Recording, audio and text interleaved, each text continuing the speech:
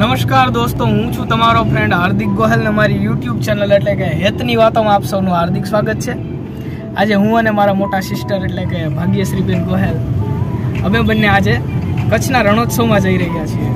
કોઈએ કીધું છે ને કે શિયાળે સો રઠબલો અને ઉનાળે ભલી ગુજરાત. ઓલો વર્ષે રે વાદળીઓ ભલો અને સાચો કછડો બારે માસ. તો ચાલો આપણે આજે રણોત્સવમાં જઈએ.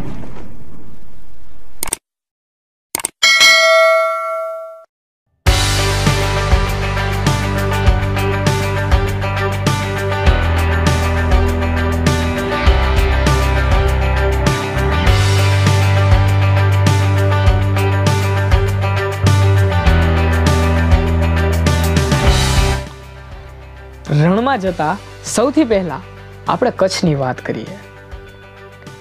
દોસ્તો, કચ્છથી તો કોણ જાણ હોય? અને એમાં પણ આપણે તો ગુજરાતી લોકો. જો કચ્છનું નામ યાદ આવે, એટલે સૌથી પહેલા સફેદ રણ મનમાં યાદ આવે છે. જો તમે ગયા હોય, તો તમને ખ્યાલ જ હશે. અને જો ના ગયા હોય, તો ચાલો મારી સાથે આજે આપણે કચ્છના રણોત્સવમાં જઈશું.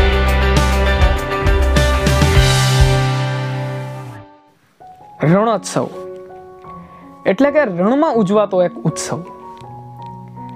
દુનિયાના અન્ય જે પ્રખ્યાત રણ વિસ્તારો હોય, એમાં આવા ઉત્સવોનું આયોજન થતું હોય છે. અને ગુજરાતના કચ્છ જિલ્લામાં દર વર્ષે આ સફેદ રણમાં રણોત્સવનું આયોજન થાય છે.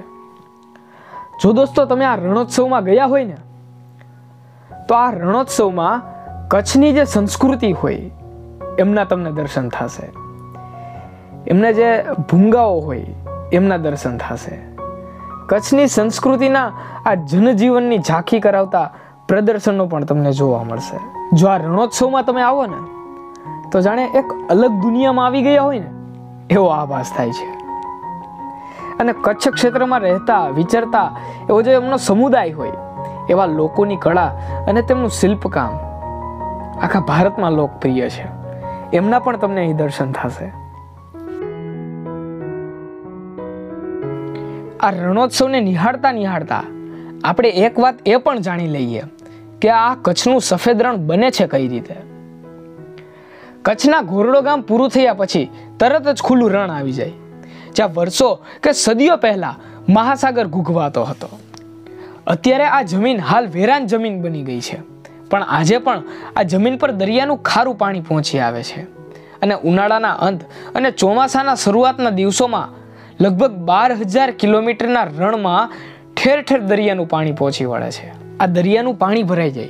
ત્યારે પવન અને તડકાના મારફતે ત્યાં મીઠું પાકે છે અને ત્યારબાદ વરસાદ પડે છે. આ વરસાદી પાણી સુકાય ત્યાર પછી સર્જાય છે આ કુદરતની કરામત અને બની જાય છે સફેદ રણ અથવા તો વ્હાઇટ ડેઝર્ટ અને દોસ્તો, આ સફેદ રણની પ્રક્રિયા એ આજકાલની પ્રક્રિયા નથી હો.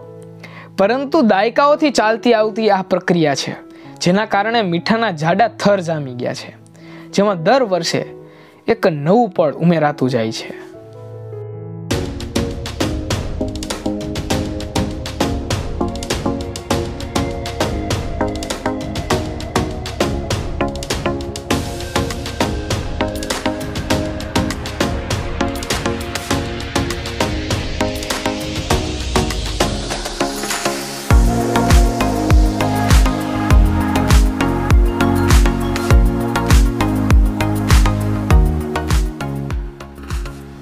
જુઓ છો ને દોસ્તો, આ છે વ્યૂ પોઈન્ટ જ્યાંથી આપણે સમગ્ર રણને માણી શકીએ છીએ તેમજ નિહાળી શકીએ છીએ. જ્યાં નજર પડે, ત્યાં માત્ર ને માત્ર સફેદ રણ જ દેખાઈ આવે છે.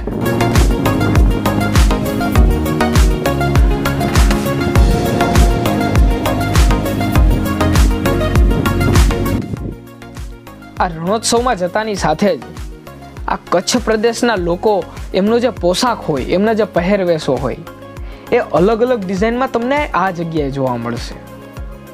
તેમજ તમે એમને જોઈ પણ શકો છો અને હા, ખરીદી પણ કરી શકો છો.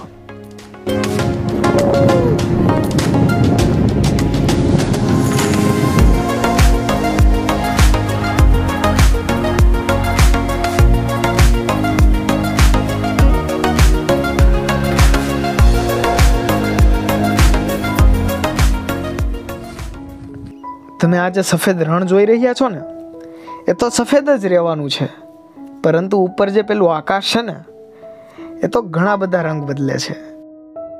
જે હું તમને આગળ જઈને બતાવીશ. અહીં આવતા ઘણા બધા પર્યટકો એ ઊંટ ગાડીમાં પણ બેસે છે. તેમજ જીપમાં પણ બેસે છે અને રણને માણે છે. આ સફેદ રણમાં બીએસએફ એટલે કે બોર્ડર સિક્યુરિટી ફોર્સ પણ આવેલું છે. જેના હેલિકોપ્ટર ઘણી વખત આ રણમાંથી નીકળતા હોય છે. અહીં આકર્ષણનું કેન્દ્ર, એટલે કે સૂર્યોદય, તેમજ સૂર્યાસ્તનો સમય. તદુપરાંત પૂનમના દિવસે પણ લોકો અહીં રણને નિહાળવા માટે આવતા હોય છે.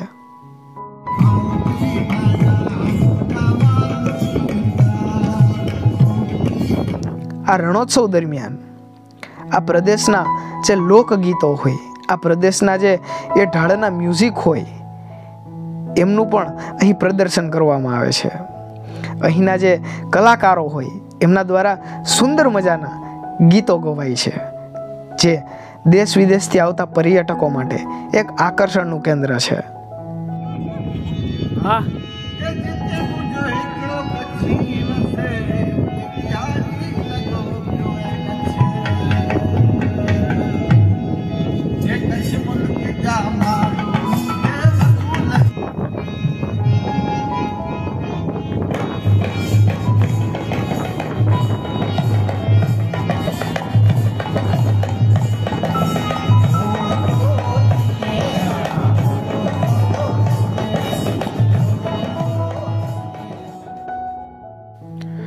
જેણે પણ કીધું, એણે સાચું કીધું છે.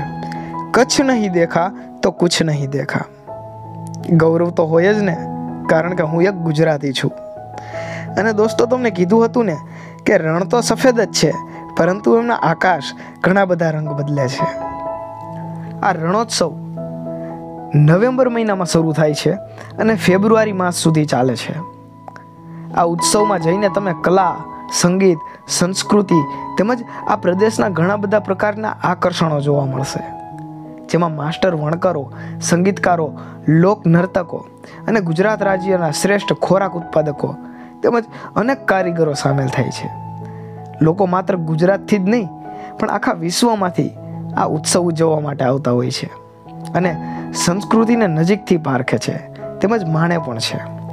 અહીં આવનારા પર્યટકો માટે ટેન્ટ સિટીની પણ વ્યવસ્થા કરવામાં આવી છે, જેના દ્વારા એ રાત્રિ રોકાણ કરી શકે અને રણને માણી શકે. તો દોસ્તો, કેવો લાગ્યો તમને આ રણોત્સવ? જો તમે આ રણોત્સવમાં ગયા હોય, તો મને નીચે કોમેન્ટ કરીને જણાવો. અને હા, જો તમે આ રણની મુલાકાત પણ લીધી હોય, તો પણ મને કોમેન્ટ કરીને જણાવો. હું છું તમારો ફ્રેન્ડ હાર્દિક ગોહેલ. જોડાયેલા રહો, હેતની વાતો સાથે.